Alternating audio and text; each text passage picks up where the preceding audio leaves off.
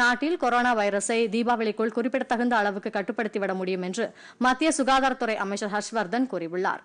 காணொலி கருத்தரங்கில் கலந்து கொண்டு பேசிய அவர் கடந்த காலங்களில் இருந்த வைரஸை போன்று கொரோனா வைரஸும் குறிப்பிட்ட காலத்தில் மாறிவிடும் என்று தெரிவித்தார். சில பாடங்களை கொரோனா வைரஸ் கற்றுக் கொடுத்துள்ளதாகவும் நமது வாழ்க்கை முறையில் மிகவும் கவனத்துடன் இருக்க வேண்டும் என்பதை எடுத்துரைத்துள்ளதாகவும் அவர் கூறினார்.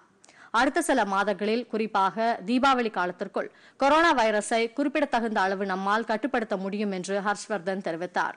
நாட்டில் ஏழு முதல் எட்டு தடுப்பு மருந்துகளை கண்டறியும் பணிகள் நடைபெற்று வருவதாகவும் இந்த ஆண்டு இறுதிக்குள் தடுப்பு மருந்து கண்டறியப்படும் என்றும் ஹர்ஷ்வர்தன் நம்பிக்கை தெரிவித்தாா்